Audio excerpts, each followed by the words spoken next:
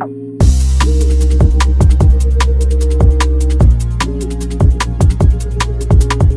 know, we're at the tail end of New York Climate Week, and everything about this week is big, right?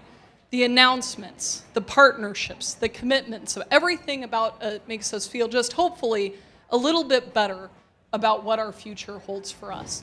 And today, when we think about this, usually it's built upon the tiny engagements, the tiny interactions, the casual conversations, the tiny technologies that somebody forgot about or didn't realize the significance of. And that's actually what I want to talk about today is not the big things, but actually the small things that can help us get to big impact. Because we need to triple nuclear energy by 2050. And I want to talk about our nuclear future. And the way that we're going to talk about this is in a couple of different ways. We want to talk about the reactors. We want to talk about the waste. We want to talk about the waste timelines because all of these, we think that there's an opportunity to talk about them in a small, productive way. So let's talk about the reactors. About 20 years ago, the Department of Energy and others within the community recognized that nuclear wasn't really fitting the bill as we had commonly thought about it. The big gigawatt scale reactors just were overcost, over budget, causing a lot of issues from that type of deployment perspective. And we said, you know what, maybe it's time for a different technology. Let's talk about the small modular reactor.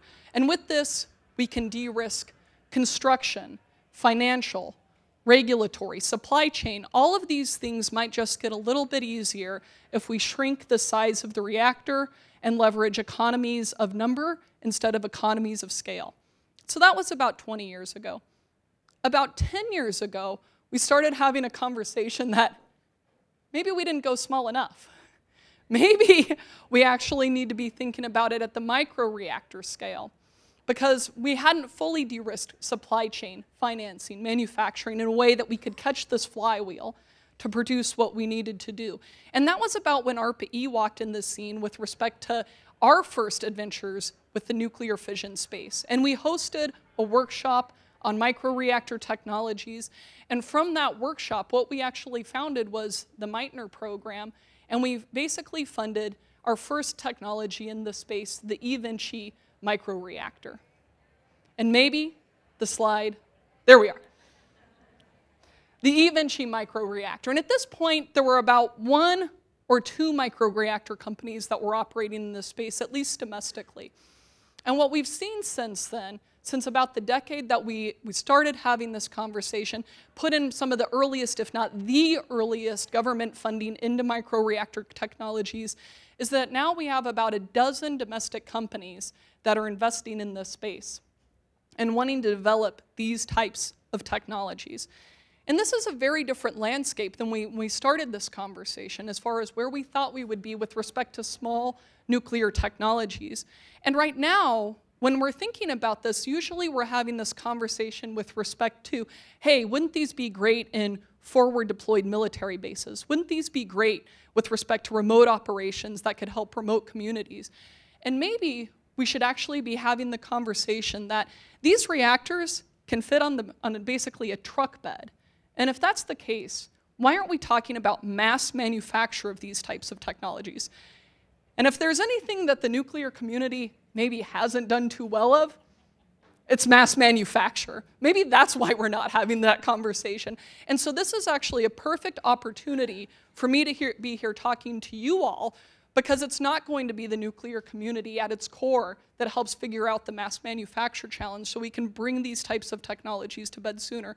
It's going to be people who know manufacturing in aviation, automotive, batteries. So we can think about our reactor design and coordination in the way just from the beginning so we can actually produce this forward because when it comes to microreactor technology, we're getting ready to deploy some of these at Idaho National Lab by 2026.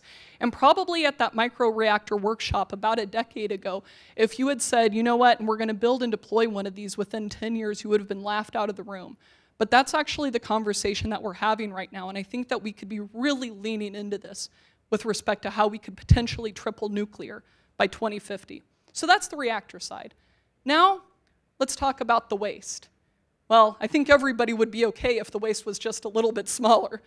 So, one of the key ways that we could have this conversation is when it comes to nuclear fuel recycling. It turns out that when you pull your waste or your fuel from the reactor and it's been lightly used, you've only used about 95% of the energy value from that material. 95%. This would be like if you drove your Ford Explorer, you filled it up 20 gallons, burned one gallon of gas, and threw the other 19 gallons away. This just doesn't make sense, but this is currently what we do when it comes to nuclear fuel and waste management of the waste. And the biggest reason why we do that right now is because it basically is too expensive relative to fresh fuel, and actually it generates pure plutonium streams. That's right, that plutonium that is used in nuclear weapons, and therefore you have a proliferation risk on your hand. And so we went back and looked at this as an agency, and this is actually where my core background and expertise lays. And we said, you know, there's not a reason a priori why the technologies need to be this expensive.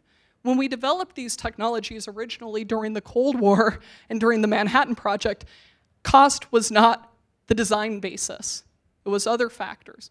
And so we might have picked fundamentally different technologies.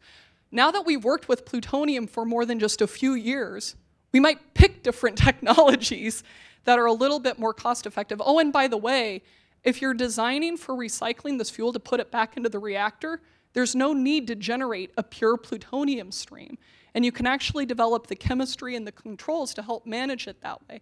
And that's exactly what we've done with two programs at the agency, with Curie and onwards, that focus on nuclear fuel recycling. And from those programs, we actually have three companies that we're working with, amongst others, that are helping us understand the opportunities in different chemistries and different approaches that could help us recycle our nuclear fuel in a cost competitive way that would actually help us manage the proliferation risk of the material.